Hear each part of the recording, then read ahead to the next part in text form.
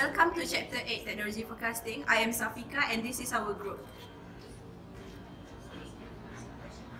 Hi, my name is Nurul Najia Bawakut. Hi, uh, I am Nur Anissa binti Azman. Hi, my name is Julia Selena binti Miami. Hi, I'm Nur Adina Nabila binti Nurizan. Hi, I'm Nujana Jawashaimi. Uh, let's begin our class. Okay, Assalamualaikum and hi. Uh, we are from Group Adopt. Today we will present about technology forecasting. Okay, for your information, technology forecasting is a process of predicting future technology characteristics when to build to enhance profitability. Okay, uh, technology forecasting model have three steps. First is input. Second is processes. And the third is output. Okay, for example, if we choose a robotic vacuum. Okay, the input is what is the problem arise. Okay, for example, we choose the robotic vacuum. So the problem is the housewife is hard to do the chores. Uh, and then the, the process is we using the technology development to enhance the robotic vacuum and the output is the robotic vacuum. Okay, this is the performance technology. Uh, this is the technology forecasting performance graph. Okay, when the graph is show the performance is going up, that means that your forecast is good. But when your graph show that it's going down, that means that your forecast is going to fail.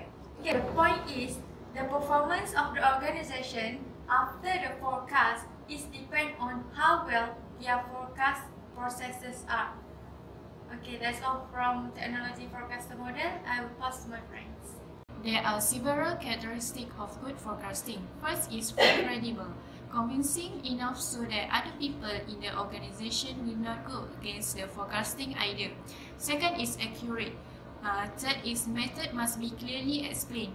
For the, uh, for the method, the explanation of the forecasting such as problems, objectives, process should be presented in detail so that there will be no confusion throughout the process of forecasting. Next, assumption must be defined and supported. For, for fifth, must be quantitative if possible. And lastly, confident with the forecasted result. Technology forecasting process. For the first process is make specification of forecasting. For short-term forecasting, for example, forecasting for 5 years in present like driverless car. In this short-term forecasting, decision on investment should be made highlighting the areas of technology that they wanted to achieve and in this case, the area is high technology car manufacturing. For the midterm forecasting, for example, forecasting for 5 to 10 years ahead such as mass-marketed flying taxi cars. In this midterm forecasting, there would be some gap in getting information on the forecasting as the information are collected from ongoing research and technology trends. And for the last is long-term for, for long-term forecasting. For example, Forecasting for even a deeper future such as non-existence of car ownership. This kind of forecasting would bring up a great uncertainty of future but at the same time, it will be one of the disruptive technologies that might create a new market and value. For the, for the second process is identify environmental variables or factor. For the first factor is technological. R&D expenditure, the number of researchers, lab or machinery endowment, process level of basic research, knowledge sharing facilities and others. For example, for chemical forecasting technology, chemical lab is must to make sure the process is going well. For the second is social. For the social, interaction with users, education, learning, social rules, desire for quality of life and change orientation. For the third is economic. For the economic, venture capital financial, and entrepreneurial spirit, wide consumption, past investment in S&T, intensity of competition, innovators among consumers. Next is for political legal.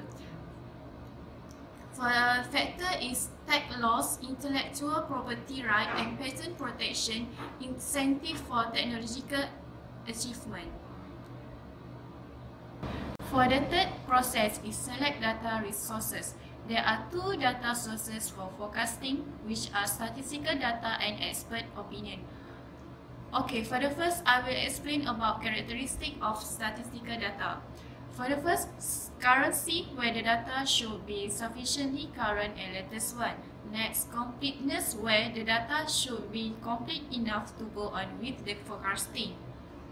For the third is potential bias where should be not be a huge, huge bias on the data choosing and collection. For next, gathering technique, which the technique should use in gathering data will influence the content of the result.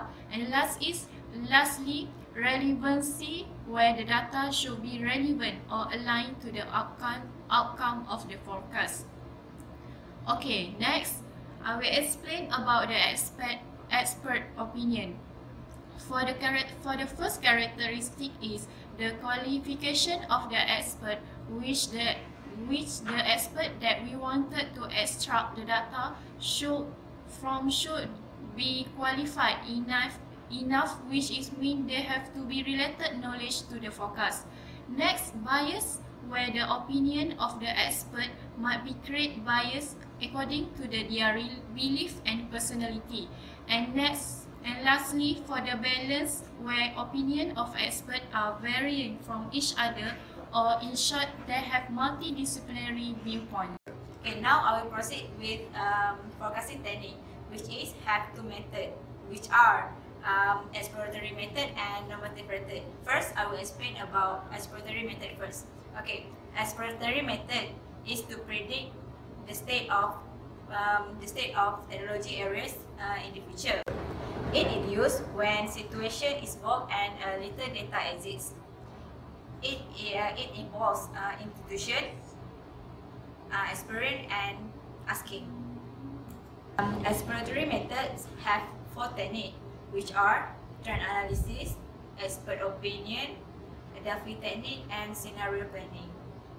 Expert opinion involves of a small group of high-level experts and managers, and it also used when uh, when managers uh, when organizations are lacking of data.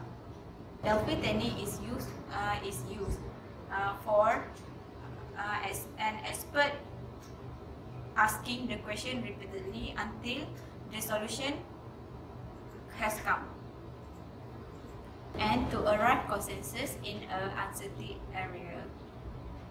Scenario planning is a what-if analysis. Uh, in simulation model, it tests and evaluate what strategy are the best. Okay, now I will explain about trend analysis. There are three concepts of trend. Uh, now I will draw irregular variation trend. Uh, this is how irregular variation look like.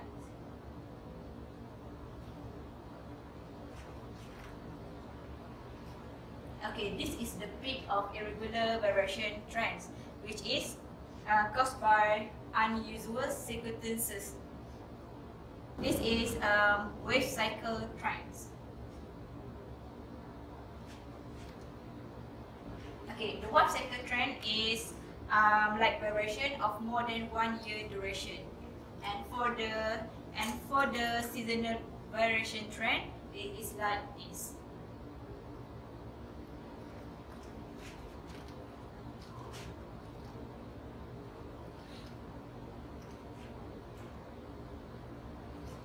Seasonal variation trend um, to uh, in short term regular variation on data. Um, the trend analysis is uh, long-term movement on data. Trend analysis use mathematical and technical and and technical and statistical technique to extend time during the duration. This trend analysis um, is long-term movement uh, in data and also use mathematic, mathematical and statistical technique um, to extend time series data in futures. Okay, now I will explain about normative method. Normative method is determine process of action uh, to achieve a postulated futures uh, state. For example, Disney. Disney focusing on creating a more immersive and more seamless and, and more personal experience each and every guest. Okay, um, for the meta approach, it used when we have the current technology, uh, historical data exists, and using numbers. Okay, uh, under normative method, uh, um, normative method have uh, one technique which is uh, cross impact analysis. Cross impact analysis is conducted uh, to predict promising uh, technology over time. And when problem is one is close to one, uh, the impact the impact column will be big. Step 5. Use by application. Integrate forecast result into your plan for the creation of the new venture. This will probably concern resource level and availability and sales forecast. Step 6. Undertake reviews. Follow the progress of the forecast by making a comparison between actual and result of forecast. If and when a gap appear, it is time for another forecast beginning at step 1 and make spe specification of forecast. Technology discontinuity. According to Quinn, which been quoted on the year of 1992, accelerating technological discontinuity as well as decreasing technology cycle will intensify competition. Company will either remain or neglect the technology before it become obsolete. It is it also be used to decide whether the company should invest or own other company that is capable of creating this emerging technology. For example, the discontinuity of technology is being faced by Blockbuster, which is going under bankruptcy and being replaced by Netflix. Border, which also under bankruptcy due, due to technology discontinuity and being replaced by Amazon. To summarize this topic, technology forecasting help managers in improving decision making by providing knowledge of future change and provide basis for planning but still it depends on the duration, technology nature and the technology characteristic and the probability. Forecasting has been gained significant in this knowledge era and it's continue to be an important function in technology management of organization.